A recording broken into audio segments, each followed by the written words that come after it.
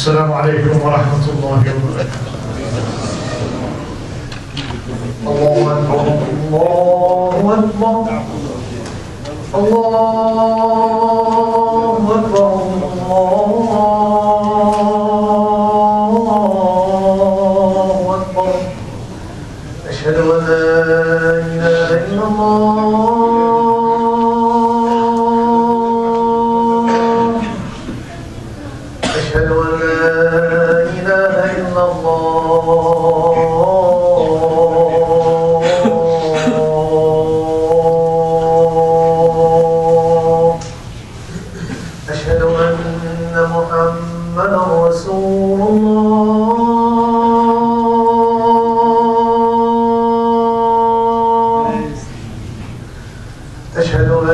أن محمدا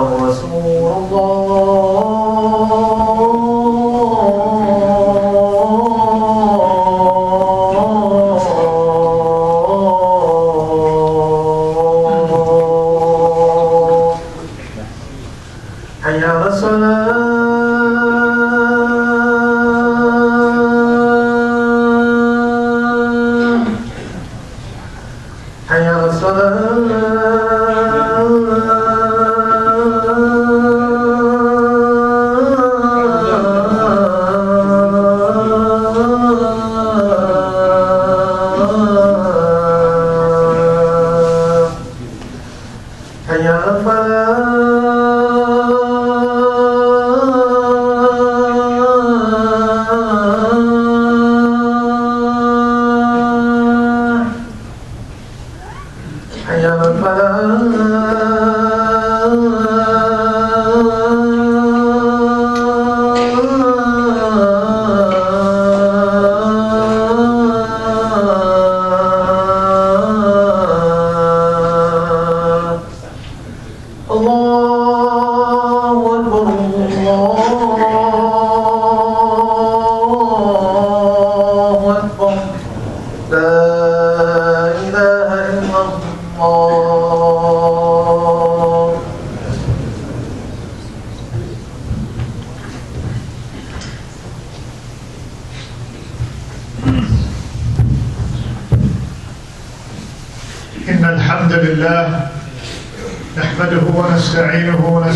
ونستهديه ونستغفره ونعوذ بالله من شرور أنفسنا ومن سيئات أعمالنا.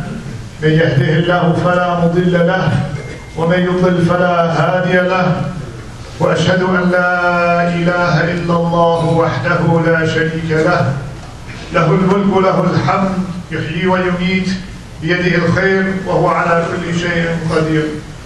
وأشهد أن سيدنا وحبيبنا وقائدنا ومعلمنا محمدا عبد الله ورسوله صلى الله تعالى عليه وعلى آله وأصحابه أجمعين ومن تبعهم بإحسان إلى يوم الدين.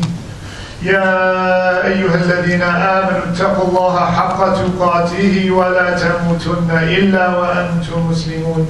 يا أيها الناس اتقوا ربكم الذي خلقكم من نفس واحدة وخلق منها زوجها وبث منهما رجالا كثيرا ونساء واتقوا الله الذي تساءلون به والأرحام إن الله كان عليكم رقيبا أما بعد All praise is due to Allah. We seek His guidance, His mercy, His forgiveness, His assistance. We seek refuge in Allah from the evil within ourselves and from the evil of our actions. Whomsoever Allah guides, there is no one to lead astray. And whomsoever Allah leaves to go astray, there is no one to guide him. I bear witness there is no one worthy of worship except Allah, and I bear witness that Muhammad is his servant and his messenger. May the peace and blessings of Allah be upon him, and upon his family and his companions, and all those who follow them until the last day. Beloved brothers and sisters in Islam, during these days and the season that has come, we find that there are a number of Muslims who they partake in certain practices that are related to the season. And when I say practices, I mean very specific practices that are related to what uh, traditionally uh, the, the Christians do during this time and during the, the season of, of Christmas. And sometimes we find that Muslims will do similar things when the time of Halloween comes, where they allow their children to partake in the very specific and particular uh, rites or actions that are done during these times.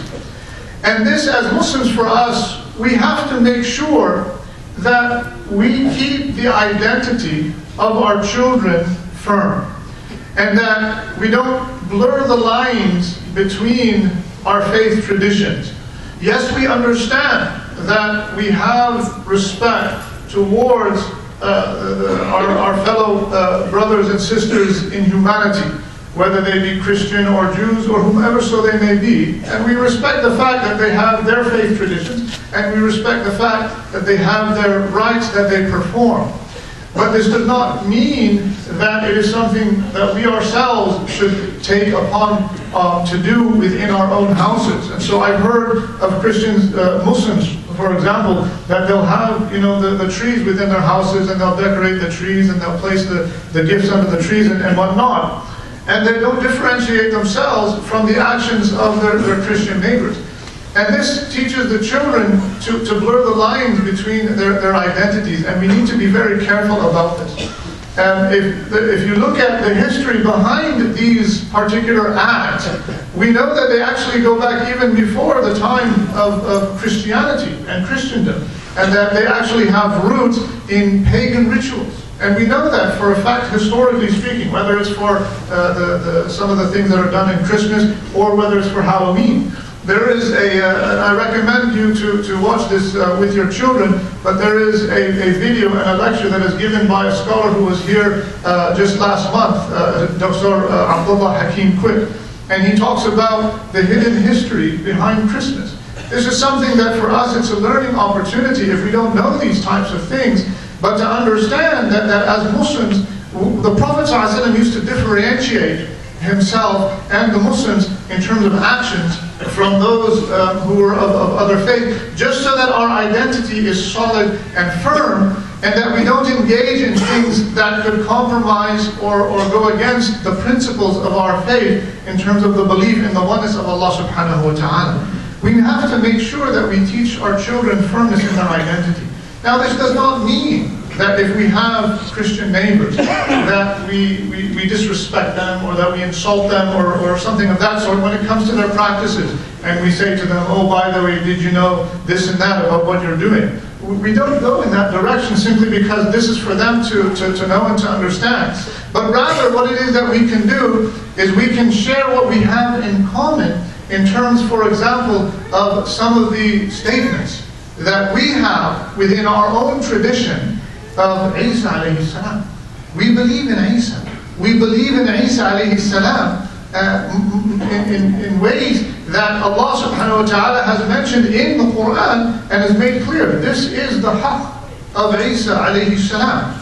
And so when it talks about the virgin birth of Isa, or when it talks about his capacity to raise the dead, or cure the blind, or uh, uh, to, to, to, heal the sick, we believe in all of these miracles of Isa salam that were given to him by Allah subhanahu wa ta'ala, by the leave of Allah subhanahu wa ta'ala, for the sake of showing people proof he is a messenger of Allah, that he is a messenger of God. And so it's interesting that when we look within our own tradition, we actually find statements of Isa alayhi salam in hadith collections. There are a number of different statements uh, that are attributed to Isa alayhi salam. And in some of these statements, the Prophet ﷺ, as we'll show you today, he even reiterated um, and said the same statement, and that they are considered as a hadith that are found in the uh, uh collections of a hadith. And so if we want to be able to, to draw bridges between ourselves and our Christian uh, neighbors, then this is one of the ways in which we can do so. It's not about partaking in the specific or particular acts or rites or rituals that they do that, that have a, a, problematic origin from our perspective and that there's something for us that we, we, we shouldn't uh, involve ourselves in for the sake of, of understanding that these things that, you know, we, we have to demarcate and delineate our limits and, and boundaries and so that we have an understanding, we're not blurring the lines between our faith traditions. And this is something that is important. Yes, we have commonalities, and we can focus on these commonalities, but at the same time we also have differences, and we should not simply do away with these types of differences. And this is something that we, we need to be able to teach our children very much so, and, and be very, uh, uh, to be able to give them that solid foundation. Be firm and strong about this so that we can give them that solid foundation as in terms of their identity as Muslims and, and as people uh, of, uh, who, who, follow the Prophet Muhammad and who follow all of the prophets because all of the prophets are, are mentioned in the Quran as being Muslims. There is a particular tradition that I want to relate to you today that is mentioned in the Muwatta of Imam Malik, rahimahullah. It's also mentioned by Imam Ahmed in his hadith collection, as well as in his book on Zuhud, and it's also mentioned uh, by uh, other uh, uh scholars in, in the, their collections of, of Athar and Ahadith uh, that go back to the Prophet or the Sahaba or, or other prophets. And this particular tradition, this is something that we can use as a, to, in order to show people the, the similarities that we have, uh, or, or, Christians in terms of our belief of Isa alayhi salam, that we have statements of Isa alayhi salam within our own faith tradition. And we just want to take a few moments to reflect on, on one of these uh, traditions in particular and to see how this applies to us. And that both Muslims and Christians would be able to apply this tradition of Isa alayhi salam and that this is part of, of who we are and is part of our identity as Muslims.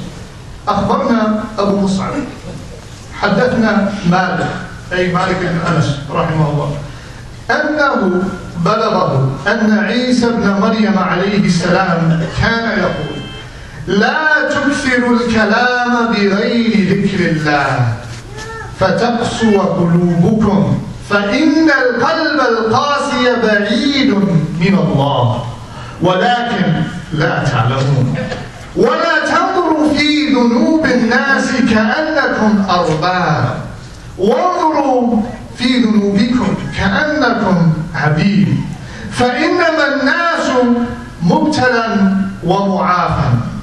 فارحموا أهل البلاء واحمدوا الله على العافية. In this tradition that Imam Malik and others have narrated, that Isa ibn Maryam, alayhi salam, he said, do not speak much without remembering Allah. For by doing so, you harden your hearts.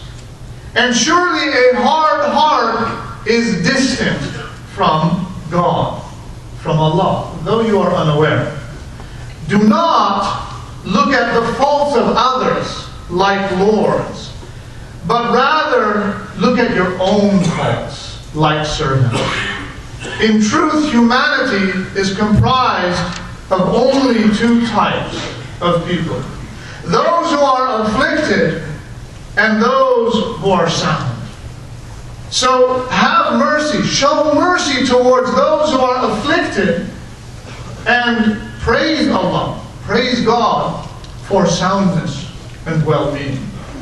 Now this is a deep tradition when we look at and we consider these words of Isa alayhi salam. What do the scholars say about this particular narration of Isa alayhi salam? Ibn Abdul Bar, who made a commentary on Imam Muwatta, Imam uh, uh, uh Malik uh, in his Istithkar. He has the following to say, قال أبو عمر أي ابن عبد البر هذا عندي أفضل كلام قيل في معناه أو من أفضل الكلام قيل أجمعه للخير وأدلك عليه ولقد أحسن القائل. ارحم الناس جميعا فهم أبناء جنسك. ابغي للناس من الخير كما تبغي لنفسك.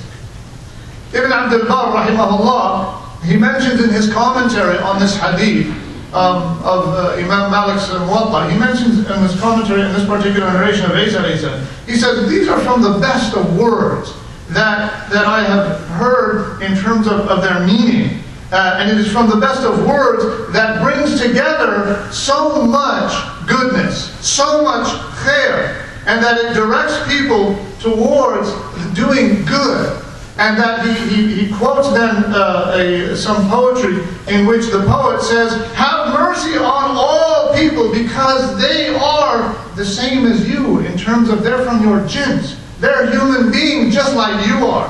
And that love for now, uh, for people, desire for people what it is of goodness that you desire for yourself. Desire for people of goodness what it is that you desire for yourself. Another commentary on this hadith or on this athar from Isa alayhi salam.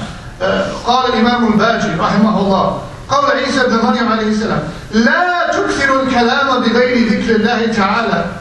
فتقسو قلوبكم.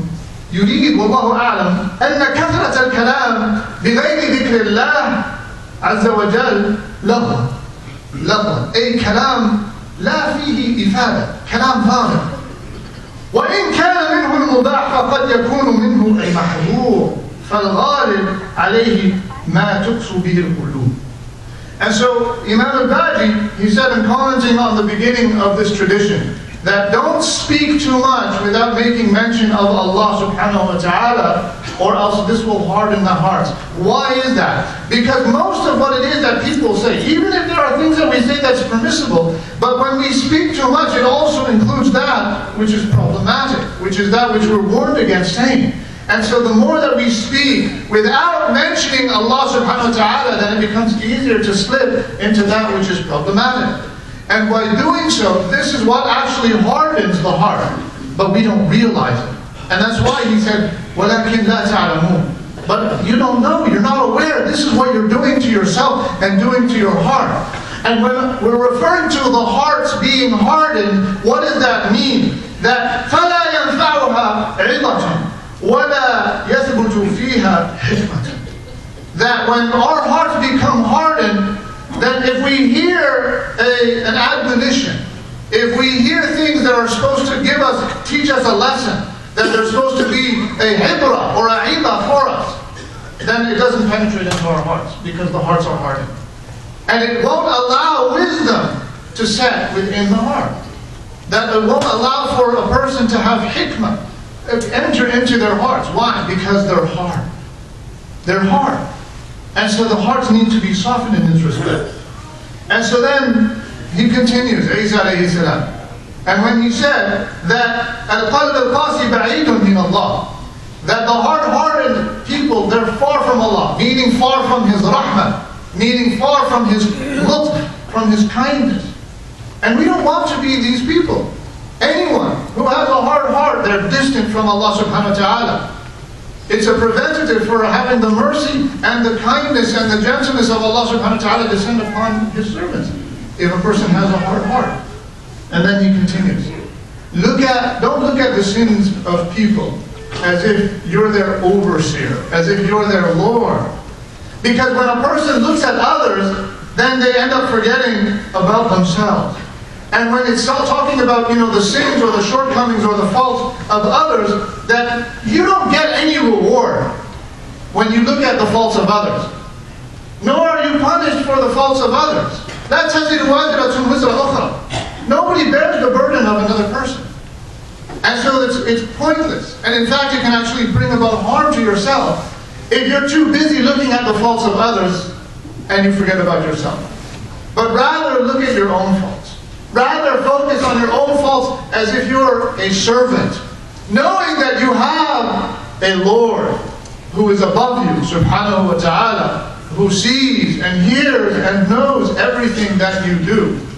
That's where the focus should be, is within ourselves.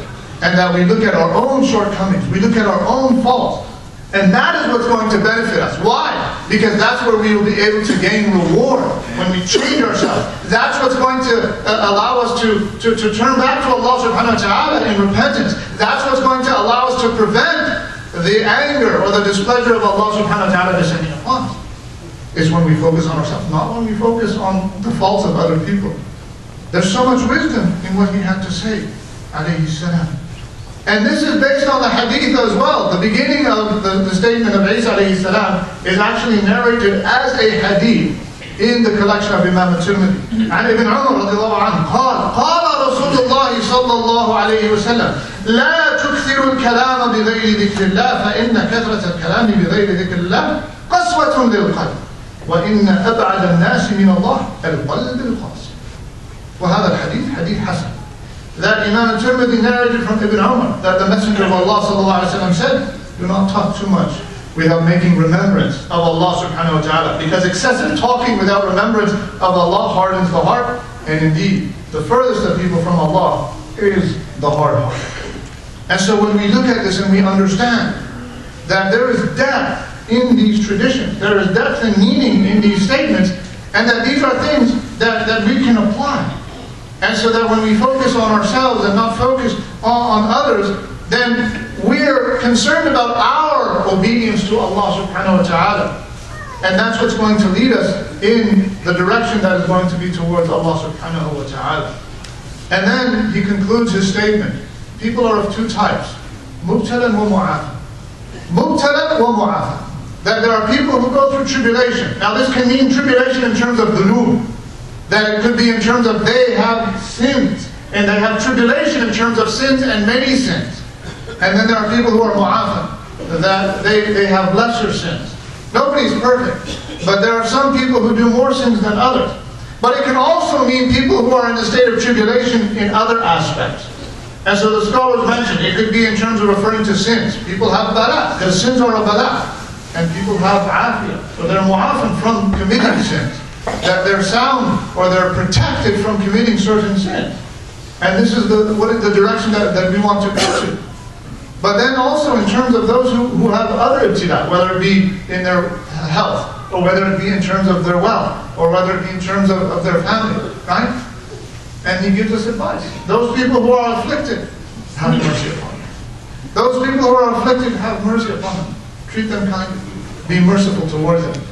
And those who have afiyah, praise Allah for afiyah. Alhamdulillah ala afiyah.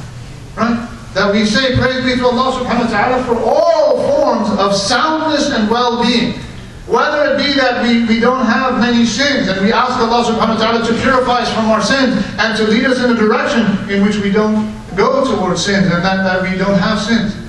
This is afiyah. This is a form of, of well-being and, and soundness. And this is what Isa is, is teaching. Is that praise to Allah subhanahu wa ta'ala, praise Him for, for giving you uh, health, for giving you soundness, and for keeping you away from sin. But that's why that focus has to be on ourselves. Are we of those people? And so when we reflect on the statement of Isa and we share this with our Christian neighbors, then we'll be able to draw that bridge between ourselves and them to say that, that yes, we do believe in Isa.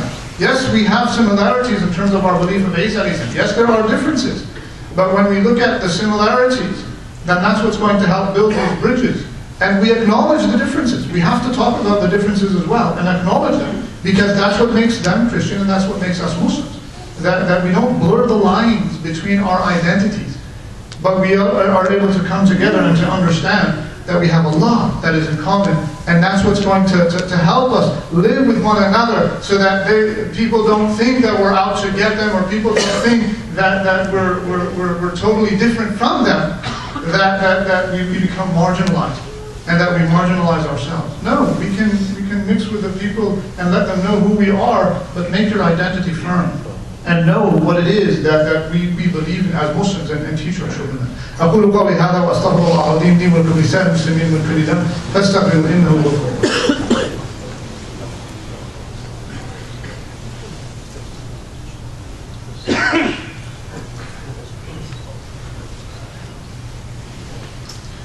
الحمد لله رب العالمين وأفضل الصلاة واتم التسليم على سيد الأنبياء والمرسلين سيدنا محمد وعلى آله وصحبه وسلم.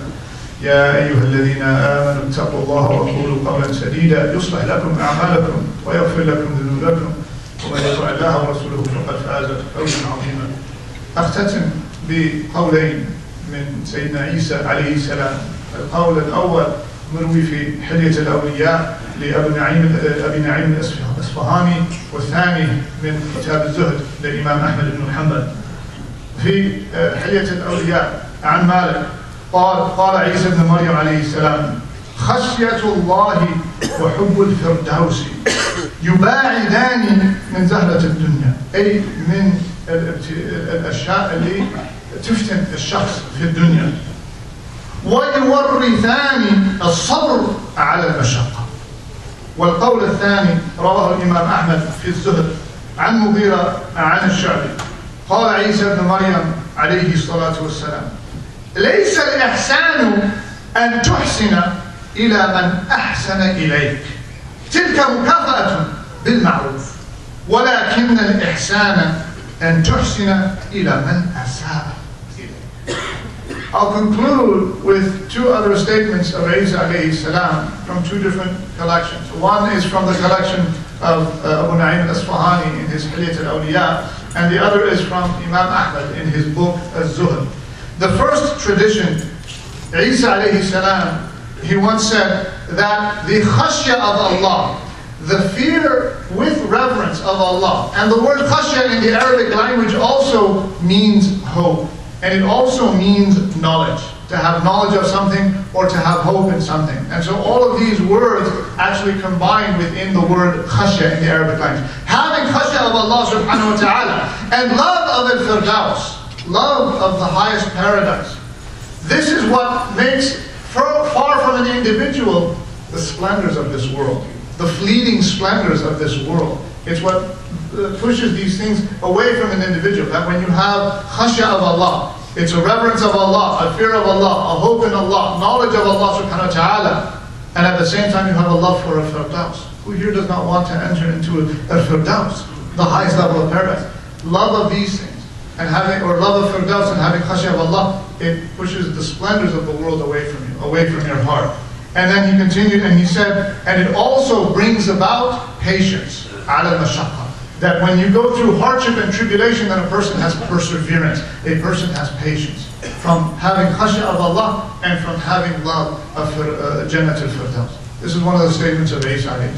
There's a lot of depth in that. And then another statement, Isa alayhi salam, this is mentioned in Imam Ahmad's uh, Kitab al-Zuhd, and Isa ibn Maryam, that he said, virtuous actions is not doing or consistent doing good to, to, to someone who has done good to you. So if somebody does do good to you and you do it back to them, that's not ihsan. That's not virtuous action. That's just simply repaying a favor that they have done for you. But rather, al-ihsan, virtuous action, consists in doing good to those who have wronged you. Virtuous actions consist in doing good to those who have wronged you. That's ihsan. That's the definition of ihsan the true definition of ihsan, because this is about going above and beyond what people commonly acknowledge as being good. That somebody does wrong to you, but you still do good to them. This is the, the nature of our Prophet himself, that he would never repay a, a bad deed with another bad deed. Idfa'u billati hiya ahsan. This is what Allah tells us in the Quran. Repel with that which is better. This is the manhaj al-nubuwwah. This is the methodology of the prophets of our Prophet and of Isa alayhi salam and of all of the prophets. And so when we reflect and we share these types of traditions uh, with others, and those who are our Christian neighbors, to say these are the traditions of Isa from within the Islamic tradition, then we're able to see those commonalities and we're able to work together towards the benefit of all people. إن الله وملائكته يصلون على النبي يا أيها الذين آمنوا صلوا عليه وسلموا تسليما اللهم صل على محمد وعلى آل محمد كما صليت على إبراهيم وعلى آل إبراهيم وبارك على محمد وعلى آل محمد كما باركت على إبراهيم وعلى آل إبراهيم في العالمين إنك حميد مجيد. اللهم اغفر للمؤمنين والمؤمنات المسلمين والمسلمات الأحياء منهم والأموات إنك يا ربنا سميع قريب مجيب الدعوات. ربنا ظلمنا أنفسنا وإن لم تغفر لنا وترحمنا لنكونن من الخاسرين. اللهم ارحم موتانا وموتى المسلمين واشف مرضانا ومرضى المسلمين وانصر إخواننا المستضعفين المظلومين في كل مكان.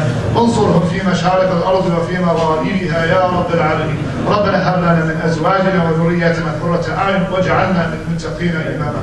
اللهم رد المسلمين شباب وفتيات المسلمين إلى دينك ردا جميلا. اللهم ردنا وجميع المسلمين إلى دينك ردا جميلا. اللهم رد المسجد الأقصى إلى رحاب المسلمين ردا جميلا. وارزقنا الصلاة فيه قبل الممات. برحمتك يا أرحم الراحمين. ربنا آتنا في الدنيا حسنة وفي الآخرة حسنة. وقنا عذاب النار. عباد الله إن الله يأمر بالعدل والإحسان وإيتاء ذي القربى وينهى عن الفحشاء والمنكر والبغي. يعظكم لعلكم تذكرون. فاذكروا الله يذكركم واشكروه على نعمته وذكر الله يذكركم الله يعلم